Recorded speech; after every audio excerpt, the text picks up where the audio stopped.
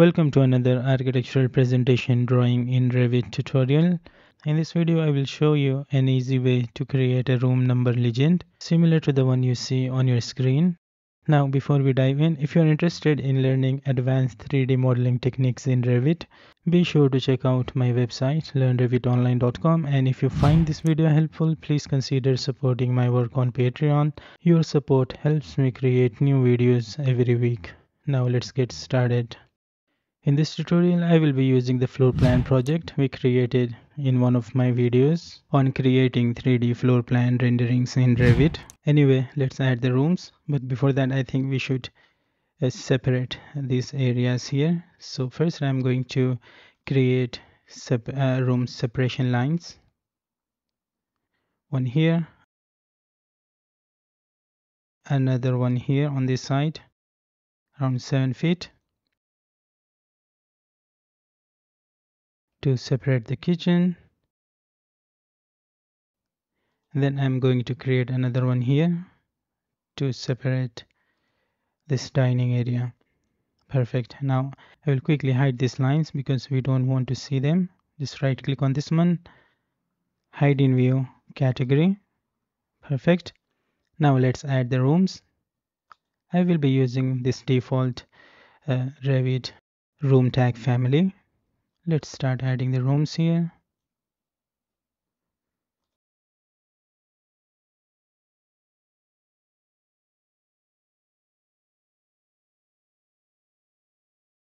Now I will quickly uh, edit the names here.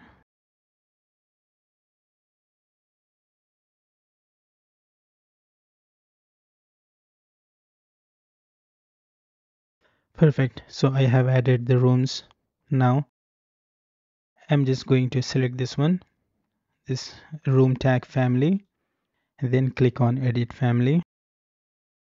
Now here first I'm going to select this room name and create a visibility parameter. So we need to click here then create new parameter. Let's call it room name. The group parameter should be graphics. And it should be a type parameter.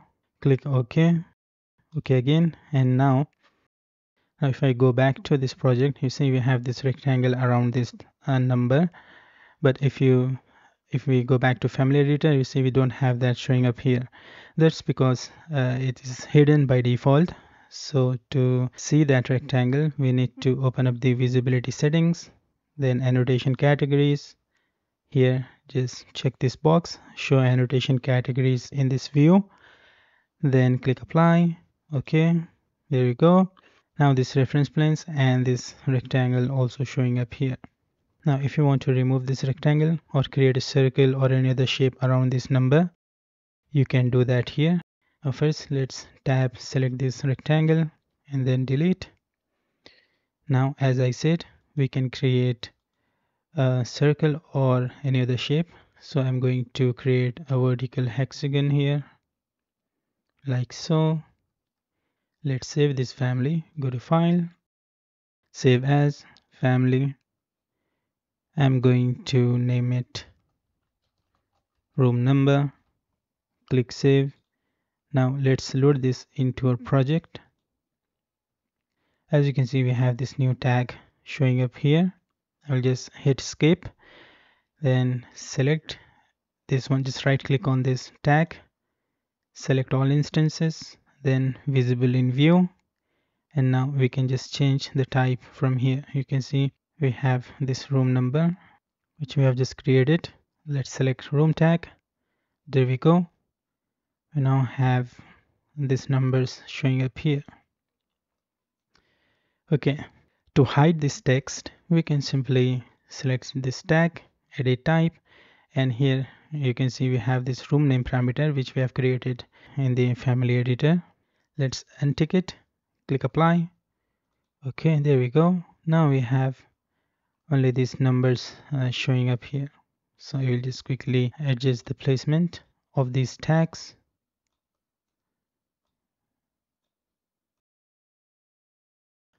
Perfect.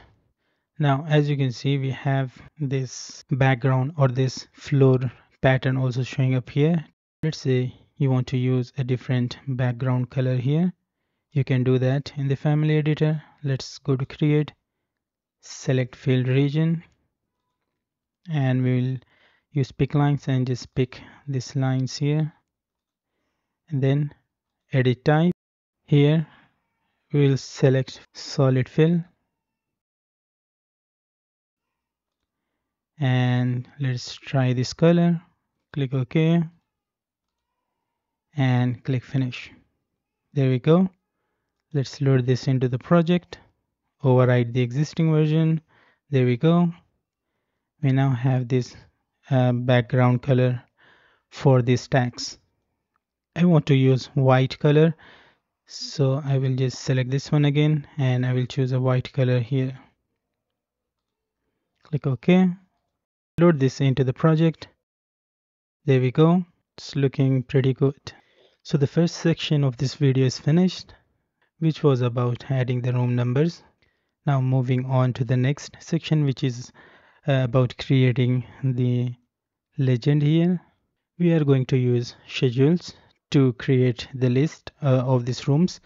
So let's right click here and select new schedule.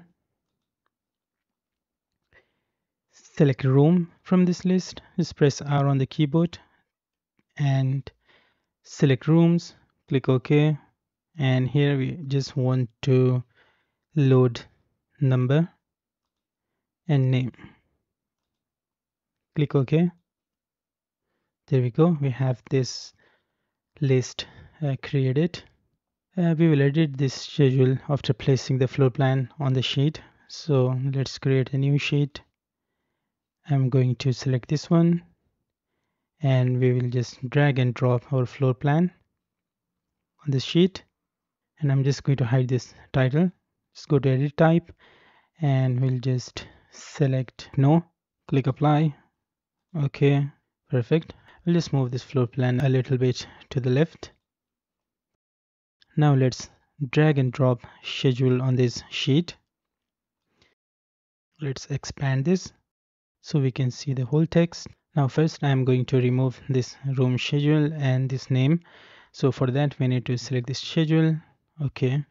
I think we should just uh, close these views.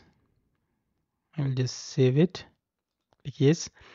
Uh, I will close this uh, floor plan as well. Then I will open up schedule. Just double click on it. And let's go back to this view and press WT on the keyboard to split this screen. Now to remove this title and the headings we can edit the appearance. Here we first want to remove the grid lines. We don't want to see these uh, grid lines here so we'll just uncheck this. And then we don't want to see the title and headers. Click ok. There we go. Now it's looking much better. Let's drag it here. Now let's see how we can change the size of this text as well as the font. So to do this we need to go back to room schedule and I'm going to select both of these columns and click here font. And here I'm going to select this font and we want to change the size as well. And I'm going to make it bold and let's change the color of the font as well. Let's use this one click ok. There we go. It's looking much better. Expand this so we can see the whole text. Now i'm going to close this schedule window and i think we can just place it here. I will quickly change the wall graphics as well. Just right click on this one. Override graphics in view by category. I'm going to select the cut pattern. Let's select solid fill and the color should be this one maybe. Let's try this. Click apply. Okay there we go. It's looking much better. So that's how to create this kind of cool looking presentation drawings with room number legend in Revit. So that's it for this video. I hope you have learned something new. So please make sure to like and share this video and subscribe to my channel if you haven't already. And if you find this video helpful, please consider supporting my work on Patreon. Your support helps me create new videos every week. And yeah, I will see you guys in the next video.